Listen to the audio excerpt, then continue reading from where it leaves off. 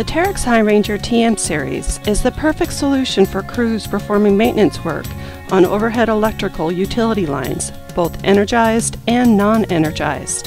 The TM is a non-overcenter telescopic upper and lower boom insulated material handling aerial device that can reach a working height up to 125 feet. The TM has a D-shaped two-man platform with a capacity of up to 800 pounds or 362 kilograms. The total jib capacity can reach up to 1,500 pounds.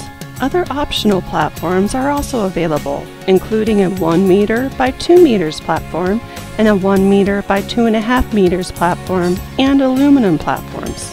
The TM can be equipped and rated for Category A per ANSI A92.2 up to 765 kV. Live line work is the maintenance of electrical lines while they are energized, often while energized at high voltage. Common work practices for live line work include rubber gloves and hot sticks and bare hand work.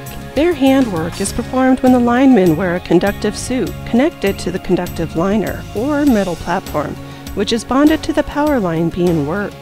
The lineman and boom tip is at the same potential as the line. With rigid boom sections and a robust outrigger configuration, the TM provides a solid foundation for more information, contact your local Terex Utilities representative or visit www.terex.com/utilities.